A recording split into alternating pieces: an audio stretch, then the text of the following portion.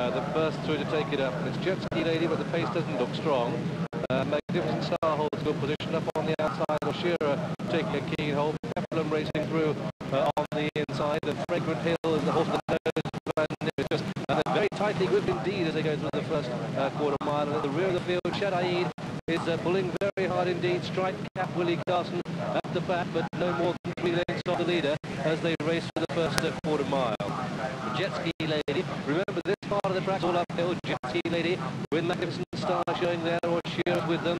And through on the inside is Dartry and Peckham and Fragrant Hill. And the Shadayid bang there, and so too Jaffa Line. And they're all very closely grouped indeed as they continue their journey through the first half mile.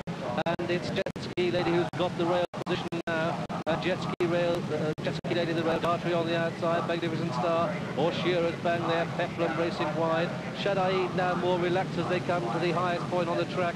And this is seven furlongs from home. And Jet Ski Lady the leader, Dartry with a white cap, uh, Magnificent Star with a red cap, or Shearer dark green jacket.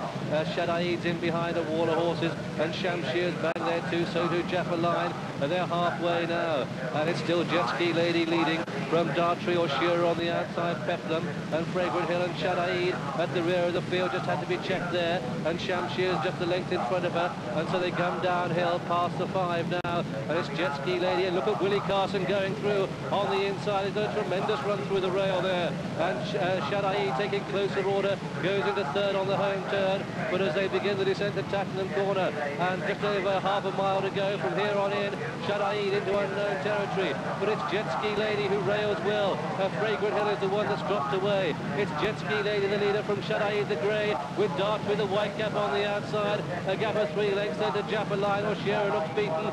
So too Peplum, but with just over two to go. And it's Jet Ski Lady who's made all the running and quickened up three clear Shadayid. And the stamina now is really starting to sap, but it's Jet Ski Lady from Shadayid. Jet Ski Lady clear by four. Shadayid, Jaffa Line through on the inside, Dartry on the outer. Shamshir is finishing well for a place. Just over a furlong to go. And Jet Ski Lady kicks on the ground she loves. She's clear by six to eight. And it's Jet Ski Lady and Christy Roche. And it's Jet Ski Lady who's going to take it. Shadayid second at best. Shamshir pressing for a place. But at the line, it's Jet Ski Lady the winner. Shamshir is second. Shadayid is third. Jaffa. They're chasing.